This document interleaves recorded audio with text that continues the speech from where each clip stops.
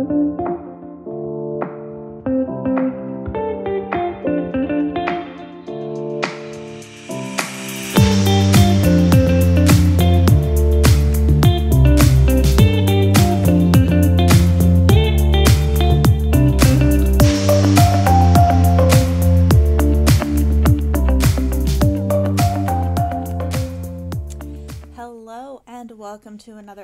episode of the Modern Skein podcast. My name is Sharon Graff, and I am the owner of the Modern Skein, which is the yarn shop here in Montgomery, Texas. And welcome, you guys. It is episode 124. I looked it up and remembered this time. So, welcome to all of you guys. Next episode's pretty big milestone 125 episodes. I honestly did not know when I started if I would get to 50 episodes, honestly. Uh, so, thank you guys for sticking around uh, and joining me on this wonderful podcast adventure. I know there are some new subscribers, so welcome everyone. I know we are still getting really close and somehow just not able to break the 2000 mark. So if you're willing to share this podcast, if you've enjoyed it, I would really appreciate it. Share it on your Instagram, uh, share it with your friends, your knit groups, whatever that also enjoy watching podcasts that you think might enjoy my podcast. So thank you for subscribing and for watching and for being a returning viewer, or if you're a new viewer, hello and welcome. And I do hope you stick around. So, as you can see, I'm wearing a new FO, and I actually have I have four FOs to show you guys. So, sit down, buckle up, grab you a beverage. I've been transporting my iced coffee in these like protein shaker bottles because I have them lying around and it keeps them from spilling, which is handy. So, they're just kind of weird to drink from. Ooh, that's good. I tried a new. Okay. Segue from yarn ever so slightly.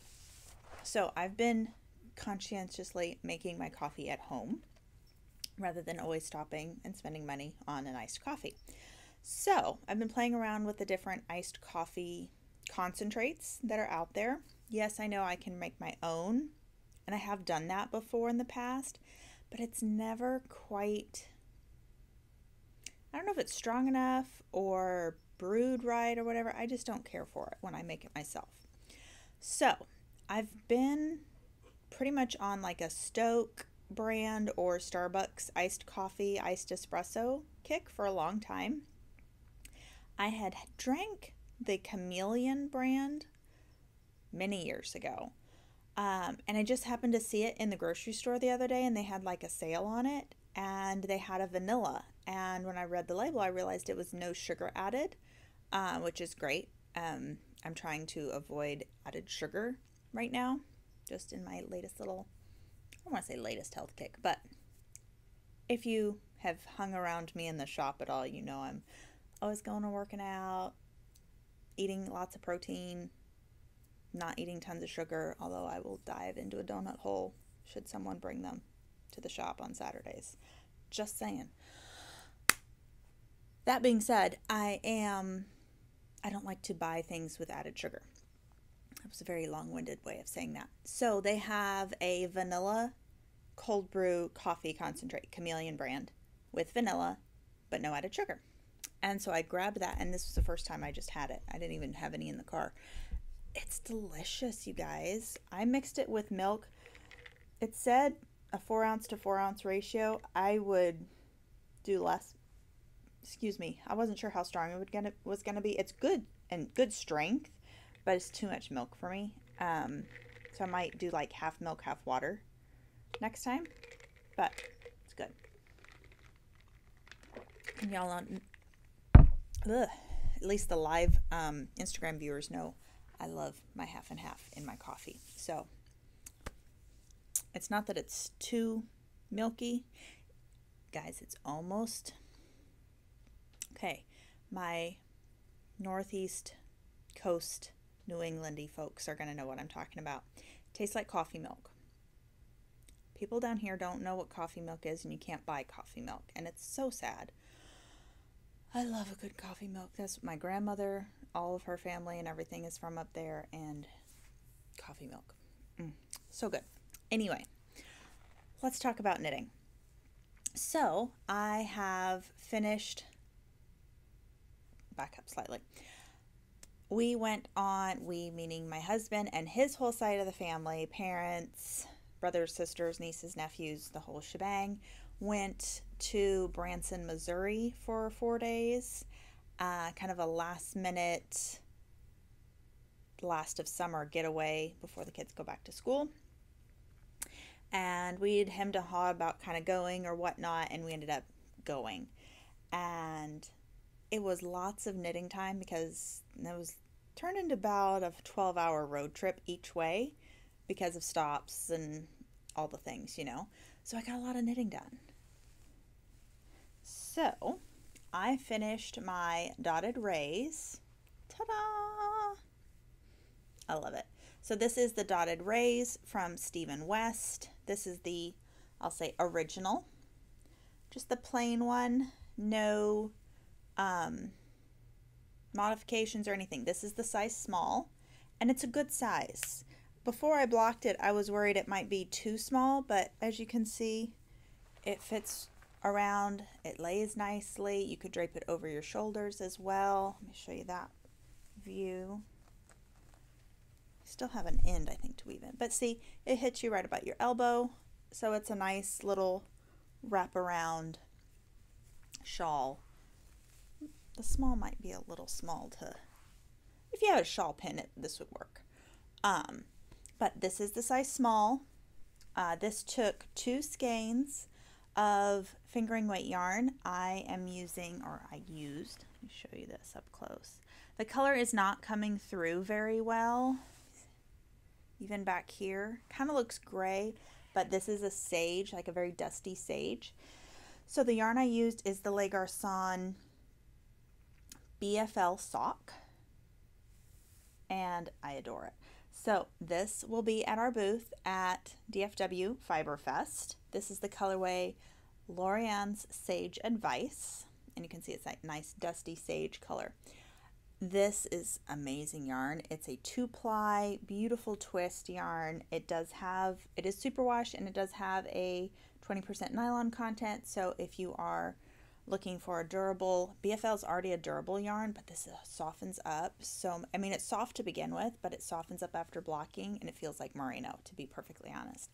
Um, and it blooms and plumps up just like juicy. So we will have the BFL sock at our booth with, of course, Max and Vincent. And we will have the British DK as well. But just this will be one of our show samples at the booth that you can squish and model and all the things. Uh, I have knit the dotted rays now. What did I determine last time? Three times? And it's just one of those good, basic, I'll say fallback patterns.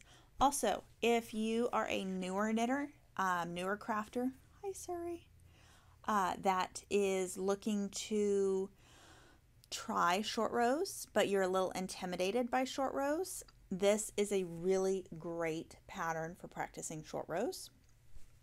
It's very unassuming because you do not need to uh, pick up any of your wraps. You're technically not doing a wrap and turn, you are doing the most basic form of a short row, but it really does help your brain kind of get into that rhythm of understanding what exactly a short row is, how are you counting them. You I highly suggest if you are new to short rows or if you struggle with um, short rows at all, this is a great pattern, but also put a marker where you stop and turn, whether you're wrapping and turning, German short row, the double stitch, just doing, I'll say, the Stephen West style. Put a marker so that you can easily see it and count it. And then as you get more adept at looking and seeing and reading your knitting, then it will be easier for you to find those short rows and you may progress to the, I'll say, the level of not needing to mark them each individually with markers. But rather than getting frustrated with it, put a marker in. It'll make it so much easier. So that is Dotted Rays by Stephen West in the Les Garçons yarn. Okay. I said four, but I already showed this on the last episode, didn't I? I did. But you know what? It's so good. I, I'll show you again. It's my, um, but I did show this. So I won't bore you. Anyway, if you want to see the details of this, this is the Field Shawl by Max Knitter, and it's in the last episode. But yes, I did just realized that I already showed this. So I don't have four WIPs, I only have three, but that's perfectly fine. No, I didn't throw it on the floor. The couch is over there. Okay, my next WIP, WIP, my next finished object. Ta-da! The ends are not woven in. I just finished blocking this. This is the interference sweater doing.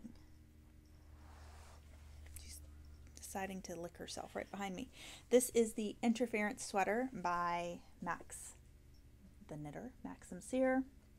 And this is his latest test knit.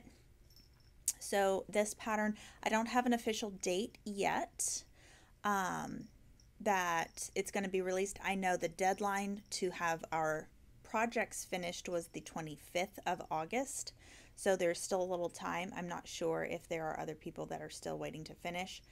Um, but I would say it's not going to happen before the 25th of August, but I would imagine a few weeks after that, probably. Maybe just in time for DFW. I'm not entirely sure. But I love this. So there's just some really nice finishing details on here, especially on the sleeves. Tubular bind off, which I highly recommend. I love the finish. It makes it seem a little more professional excuse me, um, and just the color work in here. And if you're intimidated by color work, I know I've talked about this before. This is a good beginner friendly color work because it is very short repeats. Um, it's only two colors. You're never doing a third color in a row. And it's mostly, you know, one by one, two and three stitch floats that you do have a few that are I think the max of six or seven one two three four five seven max um, of seven that you're having to carry a yarn there are some short row shaping in the back uh, to bring that up. It is generally what I would consider to be a pretty unisex um, sweater. Obviously Max designed it for basically himself um, but I would say if you were wanting um, a more quote unquote feminine cut for the sweater, you could easily do some A-line uh, increases along your sides you wanted. Um, that being said, I know a lot of guys, Josh is one, whenever, once I split for sleeves for him, if I'm doing a sweater for him, I will do decreases along the sides just because he has that wider shoulders but narrow waist and he doesn't like a lot of excess fabric. So if I had knit this for him, I just knit this straight as, you know, with no mods. Um, I would have, once I finished the color work right here, I would have done um, some decreases, probably every, every probably fifth to sixth row. I would have done decreases like a four stitch decrease on either side. I did that on the Codicus that I did for him and one other sweater, um, and it just makes it a lot more flattering for him. Um, and if you have a guy that you got to knit a larger size because he's broad in the chest or in the shoulders or anything like that, but he does have a smaller waist, then that's an easy way you can modify. Vice versa, if you're smaller in here but need to go a little bit larger, then it's very easy to knit, but you don't want an A-line, let's just say. Cast on, you know, let's just say a size 2 for your um, shoulders and your yoke and everything. But when you separate for sleeves, then add on extra stitches under here till you get the count of, say, the size 3 or even the size 4. Um, you'll just have to do a quick sewn modification um, if you're not needing to pick up extra stitches for the sleeves as well, because most likely you won't. Um, if you do, then great, you have those extra stitches. If not, when you pick them up, you're just going to do rapid decrease that first row um, to get back down to the stitch count that you need for your sleeve. Um, so there's some ways you can modify patterns uh, to fit you. Bonus for today. But uh, yeah, I love it. So the yarn I used for this, I know I've talked about it before, but this is all Double Sunday from Sandnes Garn. The main body is the colorway Camel from the Petite Knit collaboration Double Sunday. And then we also have Whipped Cream and Sailor in the Dark. So it's all the Petite Knit yarns. That being said, I know we are we I have probably one sweater quantity of the camel left. And I think we're completely out of whipped cream and maybe like one or two uh, balls of the Sailor in the Dark. It's currently out of stock, but I am on the wait list to restock these exact colors as soon as it is available. She was hoping by the end of August, 1st of September, so hopefully this these colors will be back in the shop for the pattern release. Um, if you are interested in, I'll say, copying and knitting this sweater in these exact colors, or maybe there's another pattern that you like that's three colors and you like this color combo and you want these three colors, send us an email themodernskein at gmail.com and I'll put you on a wait list. Just let me know how many yards you're going to need of each color, and I'll put you on the wait list and let you know as soon as it's available and send you an invoice. So, there's that. Okay, hmm. this is going to be such a fun sweater for fall. And you guys, it was like a breath of fall this morning. So, we're in Southeast Texas we can say southeast Texas. We're just north of Houston if you don't have no idea where Montgomery is. North and just west, but mostly just north. It's been like a 103 for weeks on end with like 90 to 100% humidity, it feels like. So it feels like a sauna and it's nasty out, but no rain, which is unfortunate. But this morning, was like 70 something because when we get that, we are in the 80s at night. It doesn't cool down, unfortunately. No, I say that. That's a little abnormal. Normally we do cool down a little bit at night, but this year it's really hot. This morning it was like 72 degrees and you could smell the crispness of fall in the air. I don't know how to explain it, but it was just like, oh, there's hope for fall. It's coming soon. So it was just like, knit all the things. It's going to be fall soon. It, I mean, it's going to be like, what's it going to be? 93, I think, today, which is amazing, like 10 degrees cooler. But it's coming. Fall is coming. Maybe it's where you are right now already. And if so, you're a lucky duck. But, okay, where's my other? Haha. So my last finished object is one you haven't seen because I cast it on Saturday and I finished it Sunday. It's a palette cleanser project or a great beginner knitting project. Ta-da! I knit the Woolly Waffle Hat by Stephen West. I love it. Look at the texture. It's a great. I went ahead and knit it exactly to pattern, so it is a little bit on the slouchy side for me wearing it this way. If you roll up the top, then it's more like a beanie style, and then you have this really cool color blocked um, headband piece. So I used, you can see my inner lining. This is all Scout. So this is Scout in the colorway Juniper, and this is the Driftwood color. We have driftwood right now. Juniper is out of stock, but we have a um, order that should be coming in. Um, I think it's supposed to ship like 1st of September, um, and it will have juniper on it. Uh, so stay tuned for that if you are looking for this color. But we have several other greens. There's lichen, there's moss. Um, there's another green too. Meadow. Um, meadow is just a little bit lighter than juniper, so same tone. Uh, but there's tons of other colors. There's rosewood. There's the new burnt orange. Rosewood's new too. You've got heather, uh, navy heather. You've got sunflower. I did a live on our Instagram earlier this week and showed Scout combos for this hat. And so if you're looking for some color ideas, check it out. This, like I said, was a very fast knit. All you need to know um, if you're a beginner knitter is knitting and purling, casting on, and then purling two stitches together, which is exactly how it sounds, but he does have videos um, on how to do that, and I guess knitting two stitches together as well. There's no provisional cast on. You can provisional cast on, but he just walks you through picking up from your cast on edge to make this super beginner friendly.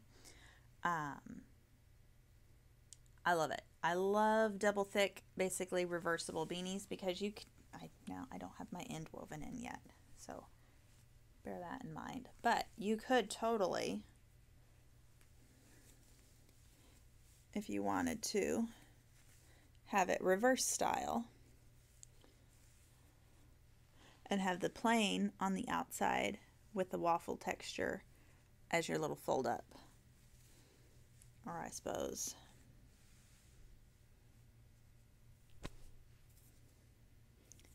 one of our friend's daughter is like 14. She basically wears a hat like this, I think 24 hours a day. She always has a slouchy hat on. So this would look so cute on her. But anyway, highly recommend this as a great palette cleanser project, a gift knit, because it's DK, it's gonna go fast. Um, there is just one size written in the pattern. If you're adventurous, you could definitely modify this to a kid size by just decreasing how many stitches you cast on. Um, or if you don't like a slouchy beanie, you definitely know you only want more of a skull cap, don't knit it as long. Um, so, lots of different ways you could customize this to be your own. Highly recommend it, like I said, gift knit. Um, quick knit for a trip. Maybe you have plans to go see family up north or go skiing or go on a wintry holiday. You could bang these out real quick for everybody going on your trip um, to have little matching hats. That would be so cute. You could do like all the linings the same and do the outsides different or vice versa. This would be super fun. So, Woolly Waffle Hat by Stephen West highly recommend. Let me fix my hat hair. Okay. I realize we've been go- talking for a little while, but I also have a lot of WIPs to show you guys. So, bear with me. I don't have tons to show you in terms of what's new in the shop because I'll still have another episode that I'll film right before Yarn Trail, and then you'll see some new stuff because we've got a whole bunch of new stuff coming in for Yarn Trail. So stay tuned for that. Um, but WIPs. I think I brought all my WIPs. Okay. So I definitely cast on. I finished things, so I cast on things, but I'm pretty sure you've. No, you haven't seen this because I redid this. Okay. So, uh, last episode, you saw my tessellated vest this is my tessellated vest in completely different yarn because I decided I didn't like that. So, say hello to Tessellated Vest 2.0. I'm loving this combo. It's obviously me. So, long story short, I just changed up the colors because I wanted different colors. This is Andorra by Kelbourne Woolens in the colorway camel for my main color. Then I switched out to the Andorra Deep Navy for the contrast. And then I switched out to Moondrake Fuwa Fuwa in the colorway Toffee for my fluffy bit instead of a Suri. And I really like it. It's not quite as fluffy as the Suri. Uh, so I feel like it doesn't overpower the whole thing. And because I used a darker secondary color, you can really see it. It doesn't just wash away um, in there. So I haven't made a ton of progress on this. For me, again, mosaic knitting or slipping stitches can be kind of slow. I was talking with um, somebody about why that is, and we boiled down to it's probably just the angle that my needles are at because of how I knit um, that makes it a slower process. It's just, it is what it is. So, slow but steady, uh, working on the tessellated vest. So, that has been being worked on. Then, when I was on the trip, I cast on a. Ooh, I have lost stitches. Hold on. Hold, please. Those back up on a needle. I cast on the Alpine Bloom Tee by um, Caitlin Hunter. Get this right side out. And I actually haven't worked on it since we got back, but I love it. So, ta da! I love the little lacy collar accent up here. And then, of course, the beautiful color work. So I am using Daucus Sock in the antique leather colorway as my main um, color. And then I'm using the Moondrake Spin Cycle collaboration um, yarn called Moonbeams um, that I got when she had her little truck show here. Uh, that is what I'm using as my contrast color. So very me, but also not me because it's a fun variegated and there's going to be some like almost pinky purple bits coming up. So it'll be very interesting to see. I'm enjoying it though. I love a good color work. Color work is very meditative to me. I get in a rhythm, especially with Caitlin Hunter's um, charts. I just love 90% of her charts. Um, very easily memorizable for me and just methodical. So that is my Alpine Bloom. Like I said, I'm using Daucus Sock, which is a yak, nylon, and merino blend from Red Stag Fiber. Um, it's actually somewhere on this wall over here uh, in the antique leather colorway. So that's that one. Then um, oh, let me show you this because I haven't shown this in a little while. This is also one of my projects that's my stay at home project. Um,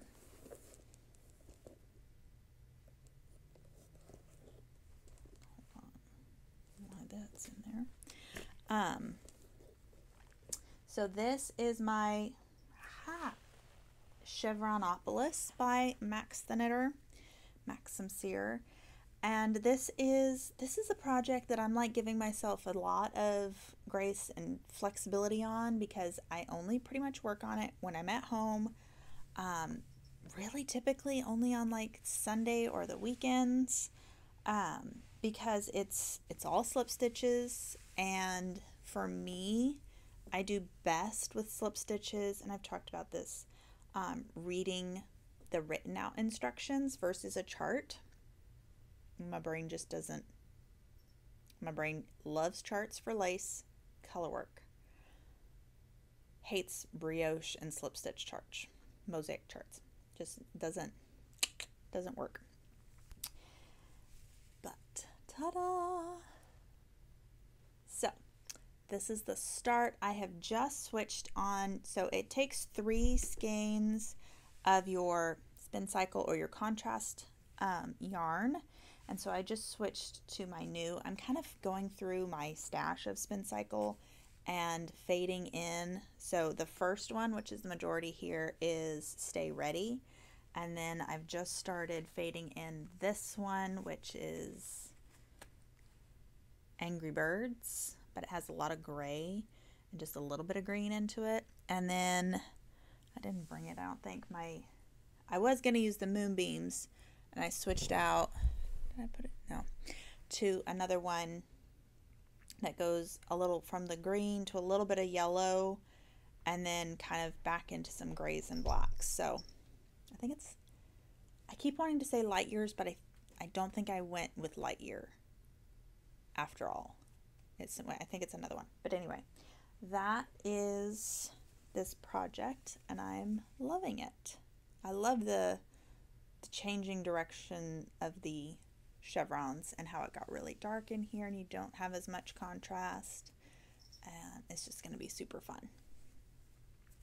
So my main color by the way in this is the black the um, the new black so it's called Raven um, in Andorra from Kelbourne Woolens. This is their sport weight yarn. They have two black shades. There's ink black, which is more of a extreme charcoal, and then this is Raven, which is a true black. So that's my stays at the house by the couch. Look at this bag. It's so cute. Yes, I treated myself on my birthday to a and Co bag. This is her little woven leather bag. It was the set where you got the mini and this one. And I love it. And it's navy blue. It's my bag. It's perfect. Um, so there's that. And then got two more WIPs that I just cast on. This one, I'm to have to, I realized I was doing the, I read the pattern too quickly and I was doing the increases wrong, but I just started, so it's not very much I need to rip out. So ta-da! This is my little cast on. Did I bring my picture? No, I left the instructions at home. Um, this is the Mohair Gallant sweater by Caidree, and it's like a funnel neck, just mohair, very like cozy, airy, breezy um, sweater, and I love it. So it's using mohair double. You could also use lace weight Suri held double as well but I am using the colorway Burnt Sugar from Sandnes Garn in the Tynn Silk Mohair, held double for this, and it's going to be so good. So, so good. It's so soft. I love this. Um, it's not a hard pattern. Just actually read how she says to do the increases for your, it's like a raglan, basically, but it's not, you're doing lifted increases, and I just read it wrong and did them wrong. So I was like, why do I have holes? That's why.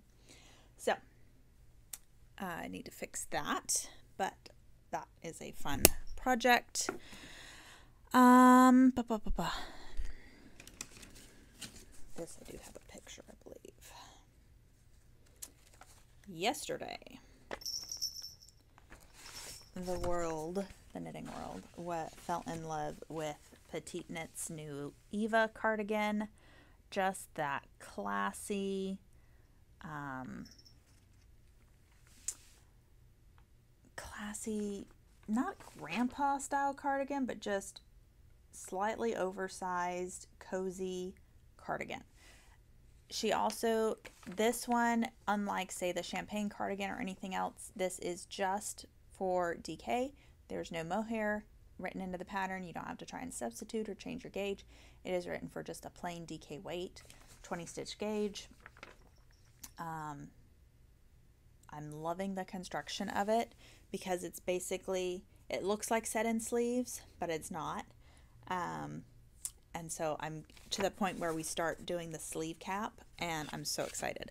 So I'm using Sandnes Garn Double Sunday again, my new favorite.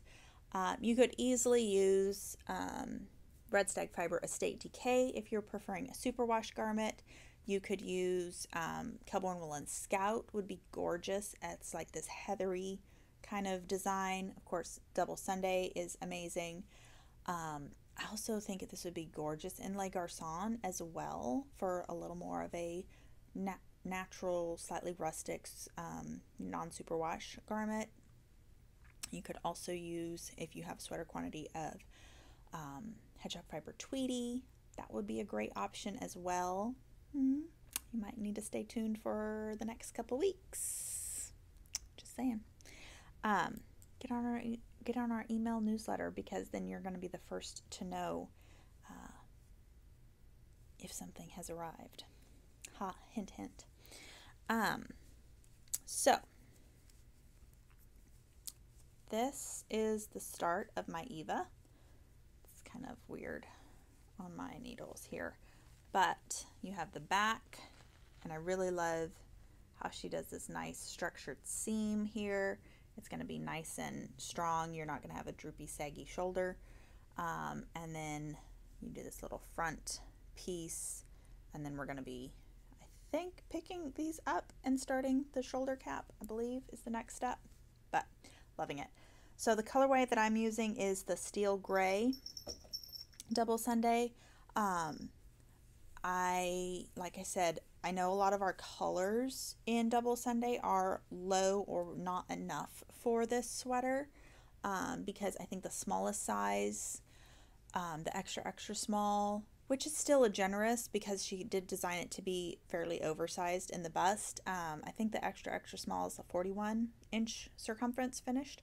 So just bear that in mind. Um, I believe that one's taking nine balls. Um, and I know we're kind of limited at the moment what we have 10 to 20 balls of in colorways, but we do have, um, by the time this goes up, it may have arrived um, fresh stock of Double Sunday in 10 or more um, sweater quantities. But let's just say you go on our website and you see a color of Double Sunday that you love, but we are either completely out or, you know, less less balls that you need, send us a message because 90% of the time we can get that um, matching dye lot for you.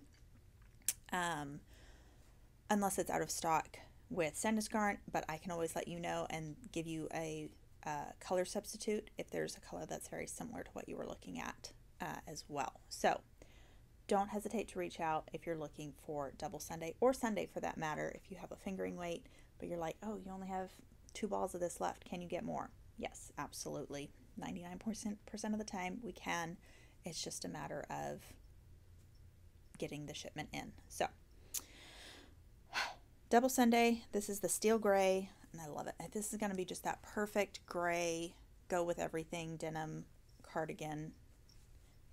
I love it. I love her whole outfit with the sandals. I already was Googling where to find sandals like that. Vince Camuto has a pair if you're interested. Don't buy them before I can. But that is all my WIPs that I brought to share with you guys.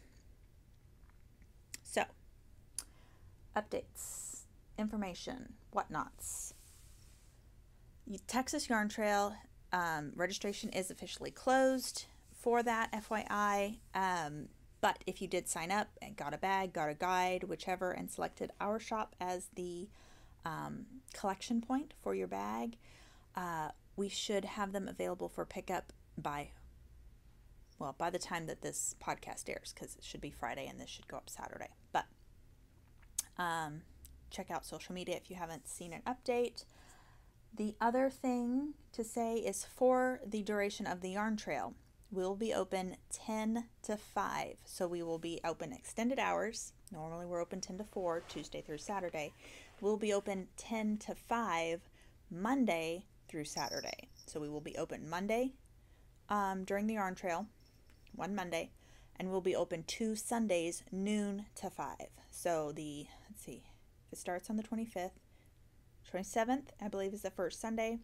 We'll be open noon to 5.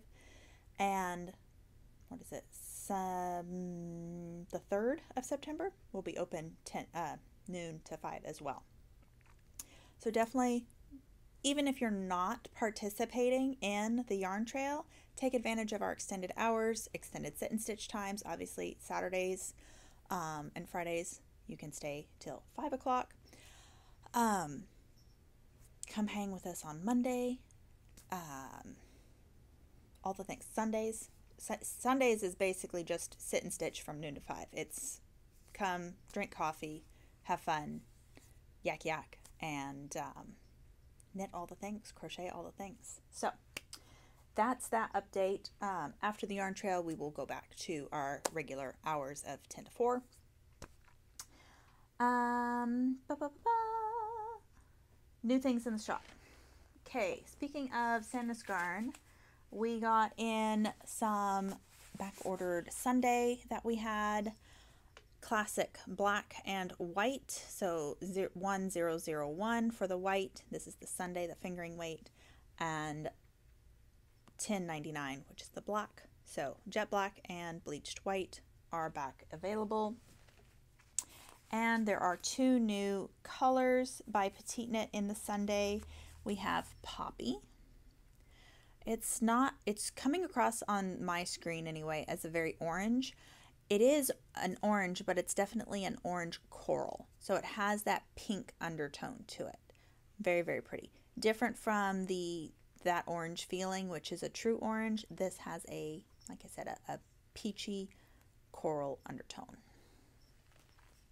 And then plastic pink. So this is reformulated and replacing frozen yogurt um, that she used to have. So this is plastic pink and it's just a little more pink and a little less purple um, than that frozen yogurt color. And it is very much a plastic Barbie ish pink. So, y'all know pink's not my thing, but if it is yours, we have that. Uh, then for books, the Crochet Anthology. I can't remember if I touched on this last time, but this is a book released from Pom Pom with some of their most popular um, crochet patterns, including water clover, which I did earlier this year and love it. There's um, 10 different crochet patterns um, that they are featuring uh, just for crocheters in the one publication. So we do have those available online and in store. And we also received the Paula Pereira Textured Knits book. I adore the cover and the sweaters and garments in here. There are 20 different patterns in this book. This is like a beautiful coffee table book. Um, I've already grabbed mine because it's just, and line of books just, oh. This is going to be a very specific scent memory, but it's a mix of library and if you've ever walked in to a cruise ship, Elemis Spa, very specific, I know. It has that like smoky lavender sea salt scrub and old books smell. I don't know how, but I would take this in the form of a candle, in the form of body spray. Like,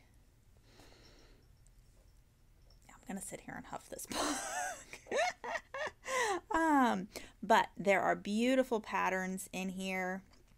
There are um, garments and there are accessories as well. Um, I was going to see if I could show you some of the pictures without giving away too much. This is a really pretty sweater. Of course, the one on the cover. I love that one. There's also a really pretty cardigan that I showed on the live the other day. Oh, these socks are cute. Y'all know I'm not a sock person, but how cute is that? with a little like gathered tuck kind of stitch. Super cute. Um, this fun kind of lacy yoke. Oh yeah, this is the cardigan I showed on the live. This one was designed in shelter, um, so you can use shelter or um, Germantown would be a great option. So definitely grab this book if you haven't already. I know we have we have a decent amount of copies left, but they have been going pretty quick. So definitely grab your copy. The there is another line of publication, um, Observations in Knitting uh, by, think it's Lottie Lothgren, Loda Lothgren. Um, that is going to be released on the 25th of August, so we will have those um, available. In fact, the pre order, if it's not already, it is live. Uh, it's going to be live on the website, so you can pre order your copy of Observations. And the pre order for Laine issue, what are they on now? 18? The fall issue or autumn issue for this year. Uh, the pre order should be up on the website. Like I said, if it's not already, within this next coming week. So definitely get your book pre orders in. Uh, that way you never miss your publication. Again, I love Laine Magazine and Laine Publishing. They're my personal favorite books, pretty much. Um, and we always like to have them in stock for you guys. So I know this was a little bit of a longer, more rambling episode, but I had a lot of good stuff to share with you guys. So thanks for bearing with us, with us, me and Suri, I guess. And um, yeah, thanks for tuning in. Don't forget to check out the website, calendar of events. You can still sign up for Knit Graffiti's classes and the meet and greet as well. We do have availability left. Um, you can also check out our DFW information for meeting Max and Vincent at our booth. Again, that will be Friday and just a little bit on Saturday morning. And what else?